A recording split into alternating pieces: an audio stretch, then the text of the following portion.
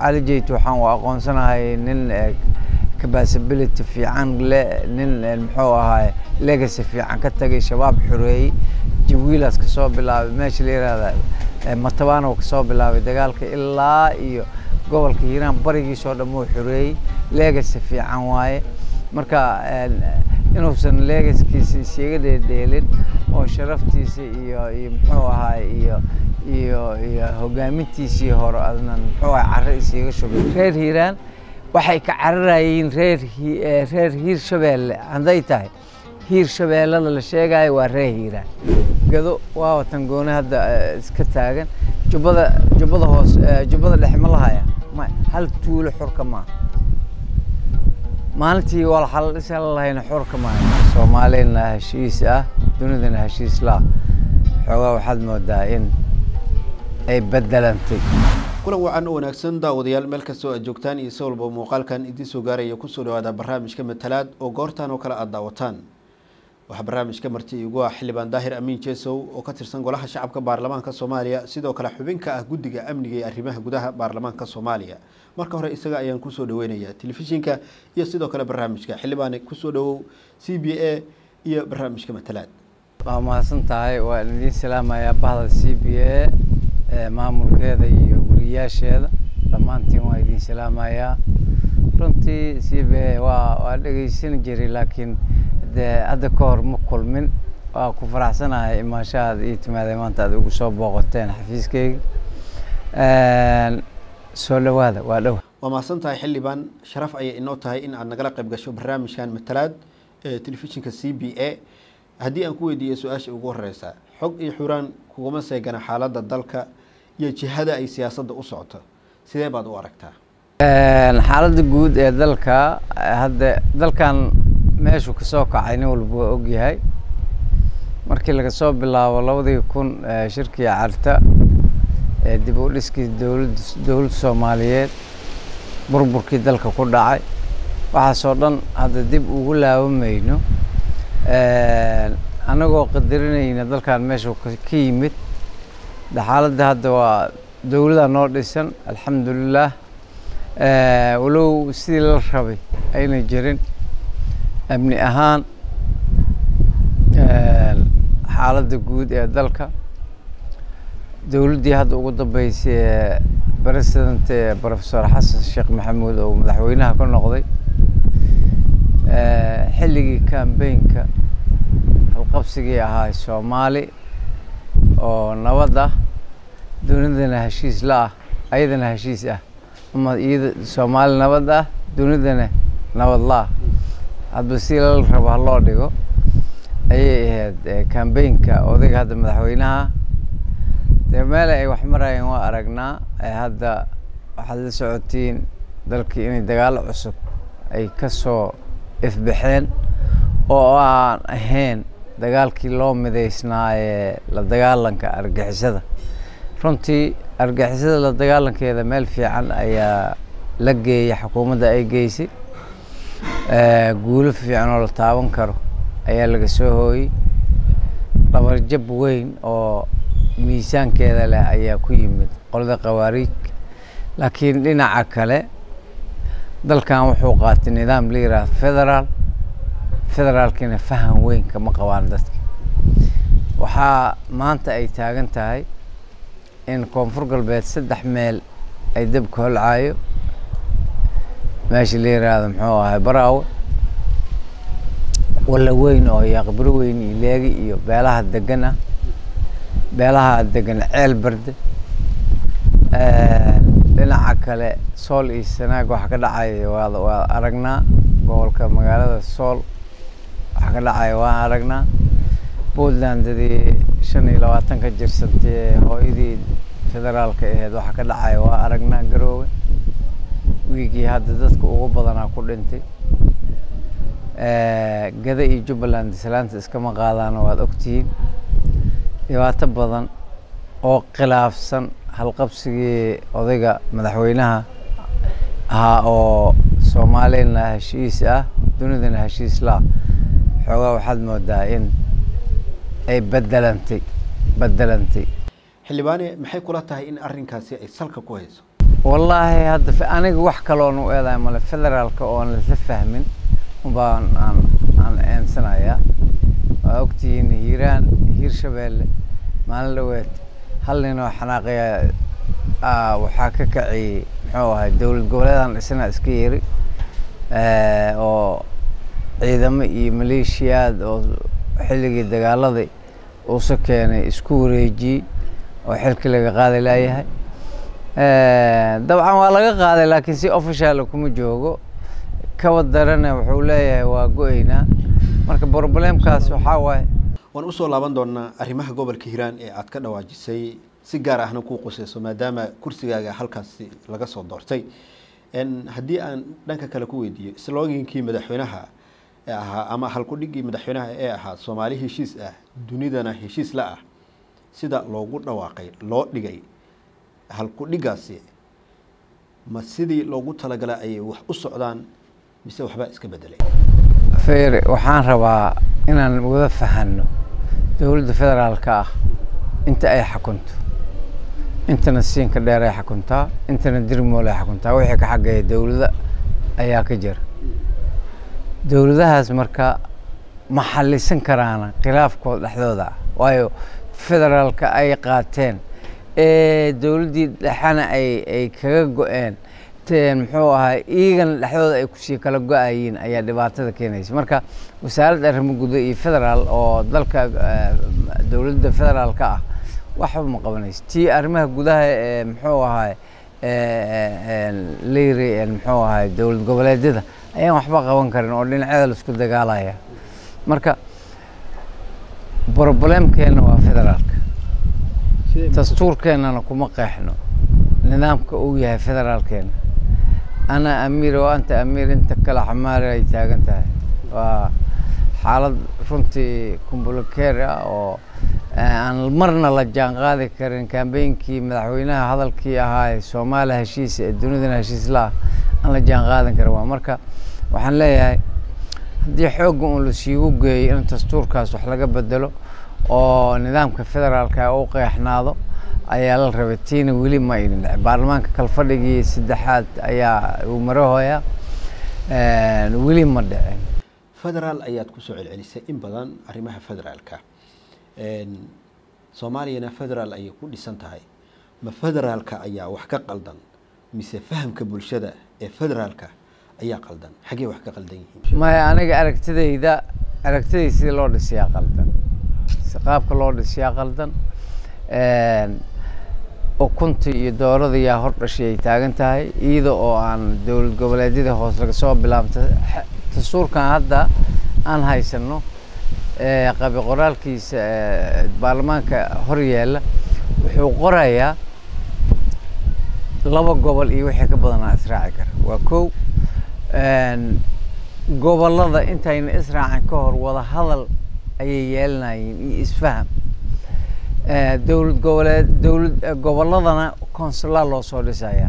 Sharci la sameeyo oo baarlamaankii sagaalaad uu sameeyo oo ugu horreysay waxay ahayd sharciga consulka dowlad dowladaha hoose ee boqol lix iyo toban la yiraahdo. N boqol iyo lix iyo toban la yiraahdo. Sharcigaas isagaa wax dhaqan geliya ma laha. Iyadoon sharcigaas la dhaqan gelin ee aan gobollada qaarkood ay xor ahayn hadda masalan eh, jubbaland ayaa hadhisanaa lagu yiri. Saddex gobol ay ka kooban tahay. Saddexda gobol ay ka kooban tahay gado waa gooni hadda eh, iska taagan.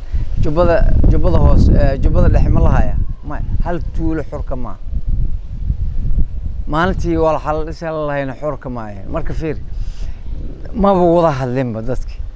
Dad wada hadlay hadda jubba haddii intay xorowdo jubbada dhexe hadday intay xorowdo ay tirahda aniga cidna lama heshiin.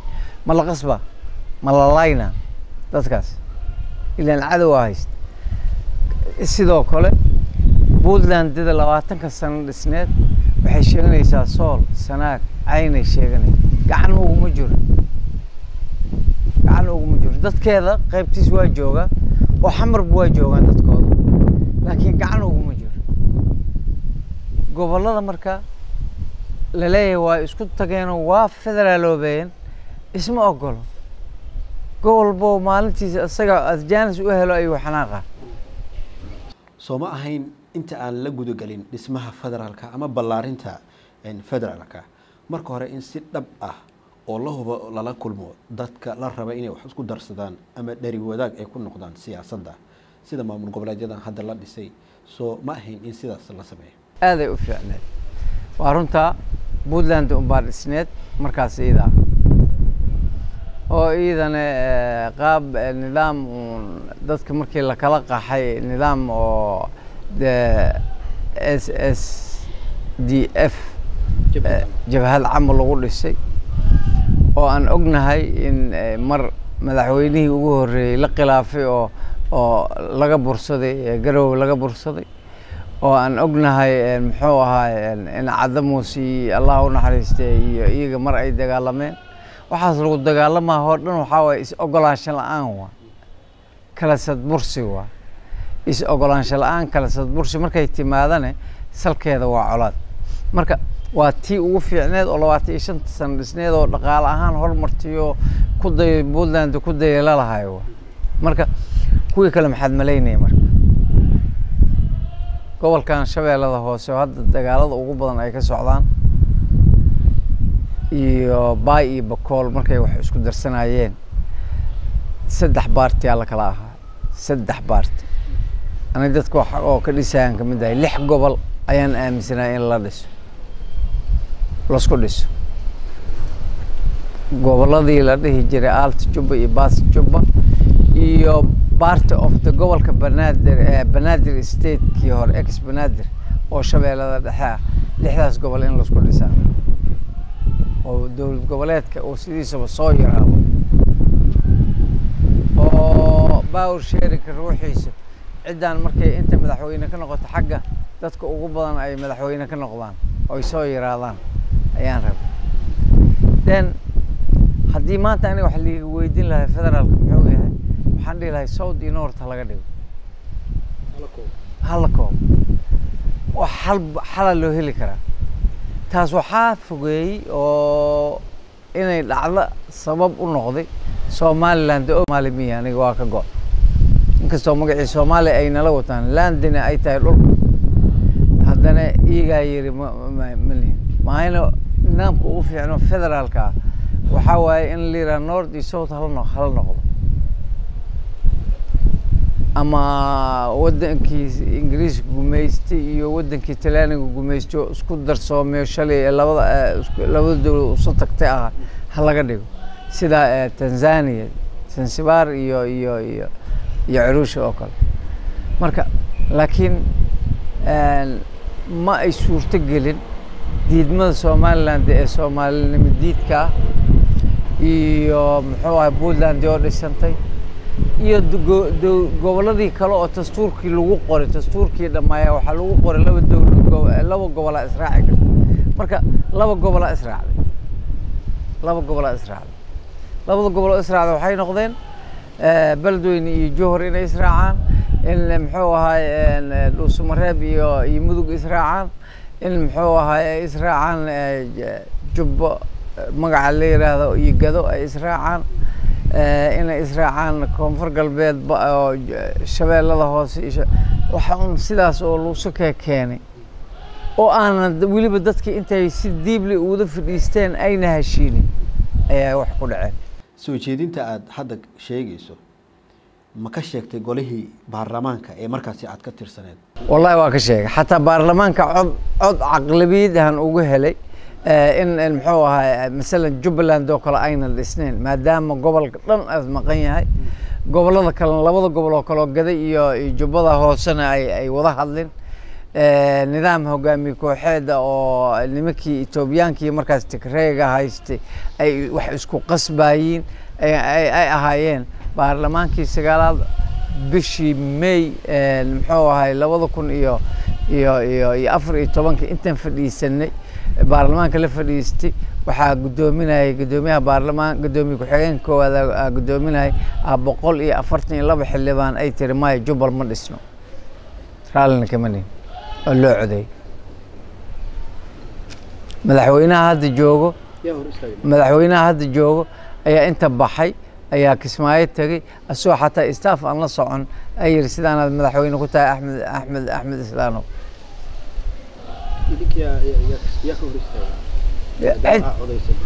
hadda hadda fiir codka waa la codayn karaa laakiin fulina u baahan yahay. In sharciga garabka lagu qaato waa iska fahmaysaa dhibaatada ay keeni karto. Waxay keentay dhibaatada maanta taalo dhibaatada maanta taallay keentay. Wax markii lagu doodayo waxay ku dhismeen wax dastuuri iyo is-afgarad bulsho ayay ku dhismeen. Wax markii lagu doodayo ayay ay xaq noqonayeen. Xaq ma aha hadda cid dhihi karta isfaham bulsho ayaa lagu dhisay jubbaland. Isfaham bulshaa lagu dhisay meel hebel. Cid dhihi karta male in in laisdilo in laisdilo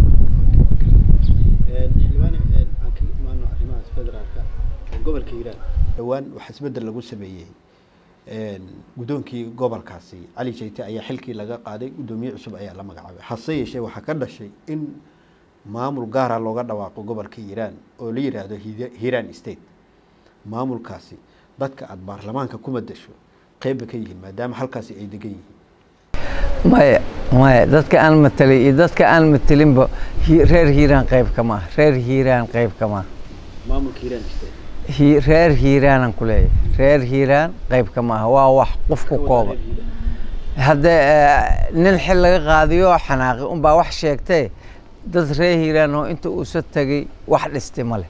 Marka reer hiiraan qeyb kama ah waa wax caljeyta ku eg sidee loo xalin karaa arrintaasi hadda ka taagan gobolka hiiraan maadaama maamulkii hirshabelle sida la sheegay aanu ka shaqeyn karin gobolkaas?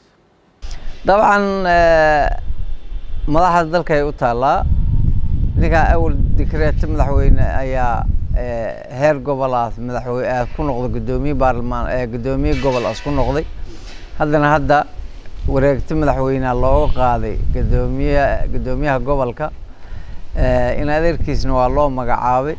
Marka ayaga ayaa laga rabaa inay xal keenaan oo ay muxuu ahay la shaqeeyaan guddoomiyaha cusub. Guddoomiyihii horena xilka si salmi ah oo wanaagsan isku wareejiyo. Muxuu ahaa dadkiisana uu dhinac ka noqdo. Nin anagu cali jeyt waxaan u aqoonsanahay nin capacability fiican nin muxuu ahaa legacy fiican ka tagay shabaab xoreeyey jawiilaas ka soo bilaabay meesha la yihahda matabano ka soo bilaabay dagaalka ilaa iyo gobolka hiiraan barigiisoo dhan wuu xoreeyey legacy fiican waaye. Marka inuusan legaskiisa isiga dheedheelin oo sharaftiisa iyo iyo muxuu ahaa iyo iyo iyo hogaamintiisii hore adnan muxuu ahaa carro isiga shubin ayaan tala ahaan walaalkeen u soo jeedinayaa. Shacabka reer hiiraan waxaan u soo jeedinayaa inay la shaqeeyaan guddoomiyaha cusub ee la soo magacaabo. Xildhibaane cali jeyti xilkii ayaa laga qaaday. Xildhibaan baarlaman ka tirsan ayaa tahay. Deegaankii ayaa tagtay. Waad aragtay hawshii uu waday cali jeyti cismaan ee ka dhanka ahaa ururka al-shabaab ma mudna xilligan in xilka laga qaado maadaama cali jeyti uu ahaa mas'uulkii hormuudka u ahaa in dadka deegaanka ay la dagaalami karaan ururka al-shabaab. Ma mudna xilligan in xilka laga qaado. Horta hal shay kuu sheegayaa xilligii asxaabihii ayaa khaalid bin weliid cumar bin khadaab wuxuu soo jeediyey isagoo shaam joogo in xilka ciidamada laga wareejiyo cumar wuxuu ku sababeeyey abubakar uu soo jeediyey ilaahay raalli ha ka wada noqdee. Wuxuu u soo jeediyey abubakar uu soo jeediyey. Abubakar wuxuu yihi maxaa jira cumarow weliba isagoo ahaa kelmada adag kula hadlaayo dhaha yaraantiin maad isdagaali jirteen. Maxaad ku gelaysaa ninkan baba dhahay. Markaas cumar wuxuu ku jawaabay nin aada u aqli badan oo xikmad badan oo ahaa oo imaam markii dambena noqday hogaamiyihii islaamiyiinta wuxuu yidhi yidhi waa dagaalyahan waa geesi. Dagaalaas isaga galana laguma guul daraysto. Waxaan ka baqayaa huu inay shacabka iyo ciidanka is hogaaminayay ay aaminaan in muxuu ahaay guul asnan ku jirin ciidan asaga is hogaaminaya inay guuleysan karin in la aamino ayaan ka baqaa. Hadda hadalkaaga waxaan leeyahay wuxuu u eg dadka reer hiiraan oo dhan inay aamineen cali jeyto ciidan as hogaaminayna saas maaha marka walaalkiis oo loo magacaabay wuu hogaamin karaa. Anigu i believe inuu hogaamin karo sufurow oo intiis cali jeyte qabtay intaas kale uu qaban karo. Guusha cali jeyte kalex ma laha. Tan kale qofka markuu soo dagaalamo oo dagaal galo inta badan wuu daalaa qofku dagaal marka markii uu dhaco waad ogtahay hadda maalin dhaweyd waxaa la bedelay taliyayaashii ciidamada taliyihii ciidanka lugta oo hiiraan intaas cali jeyte dagaalamaya la dagaalamayay ilaa ka sii korne tasiilaadkii iyo wax walba u fidinayay oo meel walba taagnaay biixia xilka laga qaaday. Waxaa xilka laga qaaday odawaaya laga qaaday oo koronshiidka askarta kula saaxanaya marka you can believe marka ujeeddada looga qaaday ma aha inay ay shaqaysan waayeen inay shaqadooda gudan waayeen maaha waxaa dhiig cusub lagu shubayaa howlihii sii socday. Weji cusub dad cusub dad oo aan weli daalin. Qofku ma ogtahay haddii uu dagaal galo waa daalaa. Marka anigu waxaan qabaa cali jeyt waa xilka looga qaaday dagaaladaas sii socda unbaa dhiig cusub lagu shubay maamulkaas lagu dhawaaqay maxaa ku tilmaama maamulka oo ke hiiraan stateka mase hiiraanta oo la magacaabay ma hiiraan state wax jara maaha fiir dastuurka dalka wuxuu leeyahay laba gobol iyo wixii ka badanaa israaci kara tan kale hiir shabeelle waxay ku dhisantay wada hadal isfaham iyo dastuurkan oo mar walba la eegayo lalahay lama gobol ma buuxaa marka gobol kaligiis gooni u istaagi kara hadduu jiro gobollo badanaa istaagi lahay sideed iyo tobanka gobol. Wallaahi waaba xalba taas ruuxeeda waaga dastuurkan dii noogala qodri lahaa ee sideed iyo tobanka gobol ayaa governor walbaba dowlad ahaan u dhaqmaya haddii la dhihi lahaa. Beel ahaan isqabsigan ma jirteen. Marka taas waxaa noo diidan dastuurka in muxuu ahay laba gobol iyo wixii ka badan ay isku darsoomaan oo aan hal hal gobol dowlad goboleed noqon. Laakiin waxaa taageeraya xildhibaano ka tirsan baarlamaanka soomaaliya ku taageeraya oo qaarkood la sheegay in ay qeybka dastuurka ayna aqrinin ha soo aqriyaan waxaa laga yaabaa in dad siyaasad ku cusub ay yihiin. Waxaa laga yaabaa inaynan weli dastuurka aqrinin oo ay fahansaneenba marka anigu intaa u dhaafi maayo saaxiibaday fariinta aan u dirayo waxaa waaye horta marka ugu horeysto waa inaan dadka reer hiiraan ay noqdaan dad riyaaleyste ah oo danahooda iyo mustaqbalkooda ka talinayo waxa ay la la midaysan yihiin waa waa waa hiir shabeelle. Hiir shabeellena laba gobol ay ay ka kooban tahay. Labada gobolba dadka degan hiiraan gobolkan waa degaan. Dadka gobolkan deganna hiiraan waa degaan. Labada dhinacba marka waxaan rabaa inay wax wada qabsadaan waa labada gobol ee ugu qanisan bar iyo beer meeshaan batrool ma jira hadda. Waxaa soomaaliya ay ku faanto ay haysato waa bar iyo beer. Labada gobol ee bar iyo beer haysto webina haysto waa badna haysta baday haystaan webiyay haystaan barta iyo beertina waa haystaan. Marka inta soomaaliya qani ay ku tahay cidda haysata keliya ee maanta ku faani karta ee calankeeda astaan astaamaha ku yeela ay qaarkood tilmaamayiin waa hiir shabeelle. Marka reer hiiraan waxay ka cararayiin reer reer hiir shabeelle. Hadday tahay? Hiir shabeellada la sheegayo waa reer hiiraan. Reer shabeellada dhexadana waa reer hiiraan. Marka waa laba gobol oo dadka wada degan nin dhahayo dadkaygaan kala goyna. For example aniga beesha aan aan ka soo jeedo si simanay u degan tahay labada gobol ma waxaan u horkacaa inaan dadkaygii aan kala jaro oon tubaarta ka dhigo. Maya waxaan rabaa dadkayga inay wax isla qabsadaan. Kuwa kalena beelaha kalena sida waay. Beelaha kale sida beesha xawaadloo kalo hiir shabeelle johor waa deganta. Johor marka hiiraan beledweyne iyo iyo johor inay kala cararaan. Anigu wax koosgarayn kara ma ogi. Wixii koosgarayn kara wax kalaa jaree waxaa kaloo jara aan ka wada hadalnay miiskaa la soo saaro. Tan ugu habboon taas waa wax kalaa jara maahina hiiraan johorka macarays waayo dadka hiiraan deganna johor waa degan yihiin dadka johor deganna johor waxay degan yihiin hiiraan. Marka nin dadkiisa kala goynayana ma jiro. Laakiin wax kalaa jira. Waxaa kaloo jira si qiyaxan oo aan daah lahayn oo aan aan lagu wareerayn oo aan dib u dhac keenayn miiska la soo saara aan ka wada hadalna warbaahinta ayaa bilo ka hor ka soo muuqatay xildhibaan. Jesow adigoo khudbad ka horjeedinaya dadka aada ku madasho kursiga baarlamaanka soomaaliya kuna dhaliilaya dowladda in dadkaagu ay ku qatan yihiin siyaasad ahaan sida wax loo qeybiyey.